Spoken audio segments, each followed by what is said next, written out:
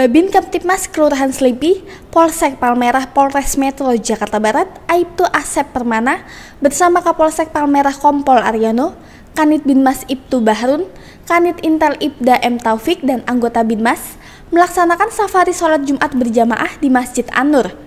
Selaku imam Bapak Hasan Al-Habsi dengan jamaah kurang lebih 400 orang. Sholat Jumat dilaksanakan di wilayah bertujuan untuk membina hubungan yang baik dengan warga sekitar masjid dan juga sekaligus dalam rangka mempererat tali silaturahmi kepada Toga, Thomas, dan masyarakat sekitar untuk menciptakan situasi wilayah yang aman dan kondusif. Selesai sholat Jumat dilanjutkan dengan silaturahmi dan ramah tamah dengan Habib Ali bin Sahlil, tokoh agama, LMK, dan warga dengan suasana penuh dengan kekeluargaan. Dari Jakarta, Tim Liputan Tribrata TV, salam Tribrata.